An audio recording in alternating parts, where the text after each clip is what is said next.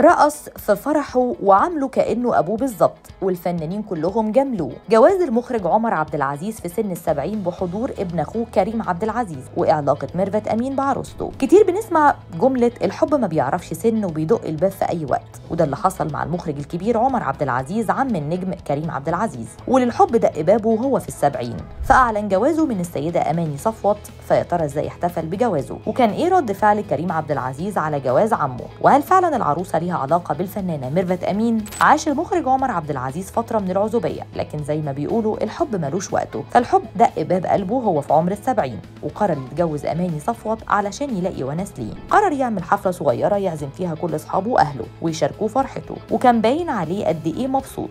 وكان بيرقص في كتب كتابه كأنه لسه شاب في العشرينات من عمره. وكان مشاركه فرحته ابن أخوه كريم عبد العزيز اللي رقص هو كمان في حفل كتب كتاب عمه.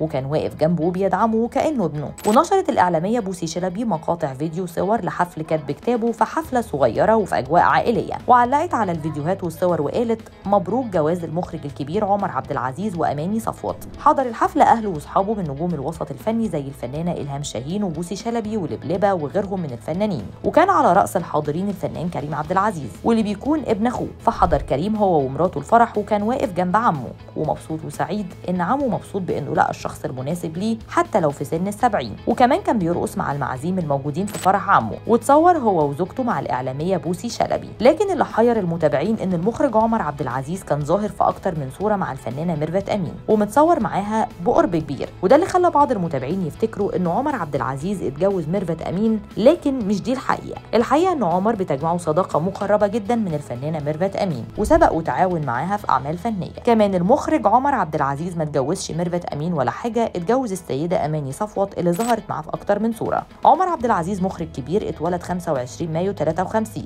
اتخرج من المعهد العالي للسينما قسم إخراج. بدأ حياته المهنية مساعد مخرج لأخوه المخرج محمد عبد العزيز والد الفنان كريم عبد العزيز واللي بيعتبر علامة مهمة في سينما الكوميديا الاجتماعية. وده اللي خلى عمر يحاول يمشي على نفس خطوات أخوه. فكان مساعد مخرج ليه في أفلام كتير. وفي 2002 اتجه للإخراج التلفزيوني بمسلسل بين شطين ومية. وده بعد مسيرة طويلة من الإخراج السينمائي. ومن أهم الأفلام اللي أخرجها الشقة من حق الزوجة فرحان ملازم آدم وحاليا بدأ عمر عبد العزيز مرحلة جديدة من حياته.